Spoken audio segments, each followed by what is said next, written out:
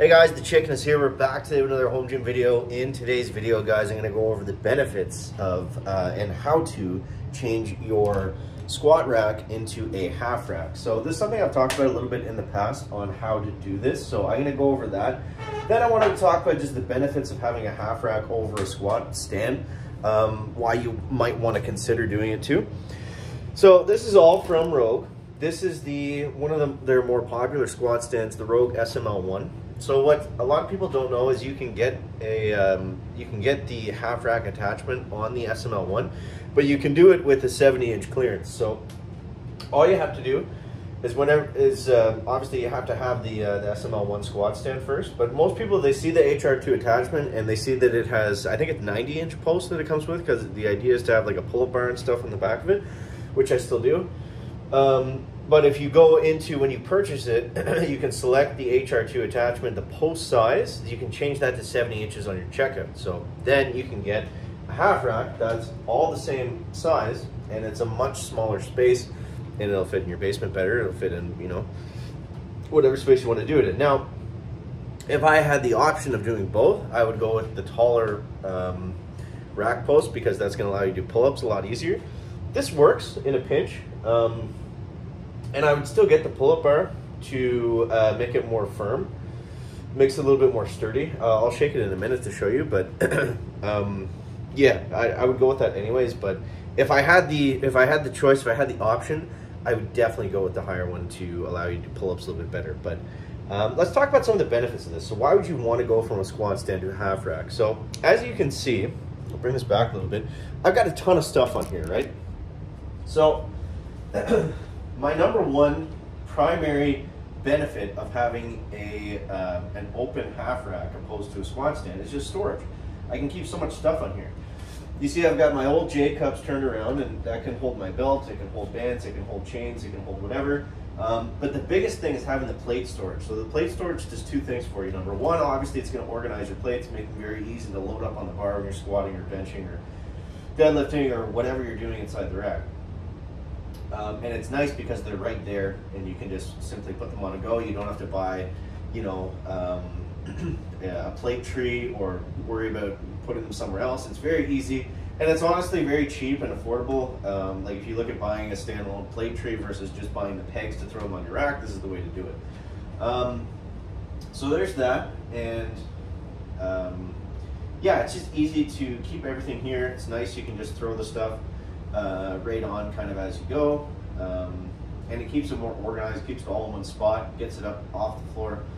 Um, now, obviously, you know, for the barbells, I do eventually want to get uh, barbell storage at uh, at some point, but what you can do is you can get stuff for, um, you know, you can throw it on the J cups in the back, but that gets kind of annoying because then it's in the way and you got to, you know, pull it out, pull it back in. It's kind of a pain. Um, but yeah, it just, you know, you have more space to work with. You can do more things with it. Um, I've been able to add different attachments to this as well. So I've been able to put the, you know, just staying with Rogue to keep it easy. The Rogue Matador I was able to put on this. And again, it's a little bit awkward, but it still works. So you can add your attachments to this type of setup. Whereas with a squat stand, you're kind of picking one thing. Like if you're going to add attachments to it, you can't have plate storage necessarily. Um, if you're going to bench out of it, you can't really have plate storage again. Um, because the plates just kind of get in the way when you're benching unless you want to bench like at the very end of it. And it's just, I don't know, it's not really ideal. So adding in the pull-up bar in the very back, if you do have the space to do pull-ups, I mean, it does work. And it certainly makes it, you know, very sturdy. You can see with all the plates. There's a little bit of sway, but it's not too bad. Um, and yeah, so the, there's different things you can do with it depending on what you want to do. Say, for example, if you didn't want to have the uh, the weight plates on the side, you could actually bench inside of this area here. So this is 17 inches across from this side right there. So you could, you know, theoretically pull up a bench and have it inside this little cage area. You definitely couldn't squat or anything like that inside of it, but you know, that would be an option um, for sure. But for me, I like having a half rack because it just gives you more space to work with. I hated, at the old gym I was at, we had the, um, it was like the RML 90 or something like that, whatever the mainstay uh, Rogue full rack is. And there was lots of times where, you know, I would walk a squat out and I don't know if this was just a me thing, or maybe you guys let me know in the comments if it happened to you before, but there's so many times I'd walk a squat out and clang, I'd smack one of the plates uh, off the side of the bar and it would just throw off the whole set. This one, I mean, you can come loose, you can obviously, you got all the space in the world, so it's just nice. I've always liked that. It's one less thing to have to worry about when you're squatting, right? Um, I don't think it would really bother you during anything else, but you know, I like to have that the, the room to move. You know, if you're gonna fall over, at least you can just dump the plates and not have to worry about it too, right? Um, so yeah, those are some of the main benefits. Um, some of the things I added to this was, like I talked about the J cups. I found that the initial J cups that came with um, that came that come with the squat stand, I didn't really like these because, as you can see here um, you can see that the metal actually chew, from the bar actually chews into the steel of the um, of the J cups. For some reason, they didn't put the um, the UHMW plastic on that outside there where the bar actually touches the steel, which is kind of strange. But um, yeah, so upgrading to the sandwich cups that was an easy one. Um, definitely something I would recommend for you guys if you want to do this build as well. Um, but yeah, so. we'll figure that out later.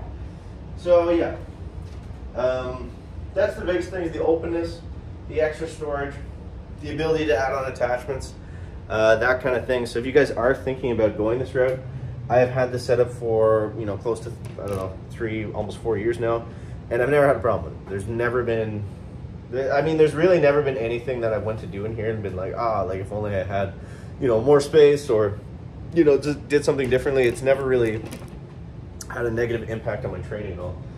Um, the one thing is just you know the pull-up bar is not ideal because it goes right like into the floor. It's kind of awkward, but that's more of like my space problem than how it works on the rack problem. Um, now, in terms of the setup, it really wasn't that bad. Putting this together, you know, it, it all bolts together. Um, so I mean, once you have the squat stand set up, it wasn't that bad to put the HR2 thing on top of that. It actually fits in like pretty well. Um, I mean, it's all just the, it's all just those bolts, and it, I, I, don't remember having any problems with it really. I think I had to move some of the, um, some of the posts around, but yeah, for the most part, it went together pretty nice. So that wasn't a big barrier. That wasn't a big barrier uh, either. Yeah, after having some of this equipment and like setting it up and stuff, now that's definitely something that I think about is like, oh my God, like, you know, like how hard is this going to be to put together? Funny enough, I think the, the most difficult uh, thing that I put together was the, the curl tricep um, little plate loaded machine that I have here, which is funny because it's probably the smallest thing in here, but just for whatever reason, it was such a pain to set up. That and the belt squat, that was a beast, but I mean, that was a bigger piece of equipment too, so. Um, so yeah, you guys have any questions about this, you can let me know down below in the comments. I always get comments on the squat rack to half rack. So I try to just do a video touching base on it every now and then, how I'm liking it, how I'm not liking it, that kind of thing. So, um, so yeah, SML1 with the HR2 attachment, 70 inch post. You guys let me know what you think of that down below in the comment section. As always, guys, thank you so much for watching. That is going to wrap it up for the video today. Make sure to leave a like if you interesting, entertaining, or informative. Catch you next one, guys. Check it out. Bye, bye.